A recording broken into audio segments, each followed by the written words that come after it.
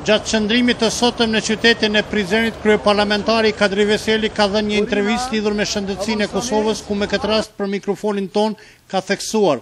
se në vitin dy mijë e shtatëmbëdhjetë tashmë shëndetësia do të ketë prioritet se do të fillojnë sigurimet shëndetësore. Vetëm nga janari i vitit dy mijë e shtatëmbëdhjetë, ju siç e dini, do të kemi futjen në fuqi ligjin për sigurimet. Ai do të përmirësojë veçanërisht kualitetin e shërbime, duke pasë parasysh ne kemi doktorë të jashtëzakonshëm. Ajo që nuk po funksionon në Kosovë, duhet ta pranojmë faktin osht sistemi menaxherial.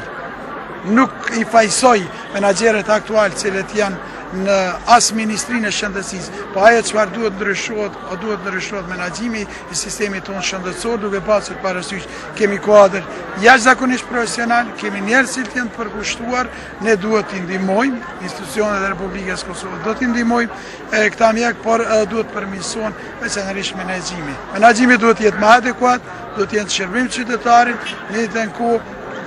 edhe institucionet do ta ndihmojnë sistemin shëndetësor domosdoshmë.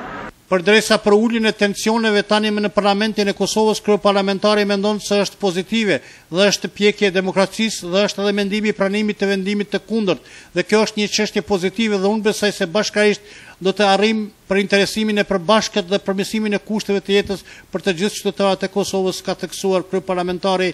Kadri Veseli. Çdo zhvillim i cili është duke ndodhur, unë do ta konsideroja një zhvillim normal. Pavarësisht se në momente të caktuara ka pasur edhe pengesa, osht zhvillimi i demokracisë në Kosovë, osht zhvillimi i forcimit të shtetit ligjor në Kosovë, njëjtën kohë ajo të cilën ne në mënyrë të domosdoshme edhe sa ma shpejt duhet të fokusohemi është zhvillimi cilësor i Kosovës, zhvillimi ekonomik, Edukimi cilësor njëjtën kohë,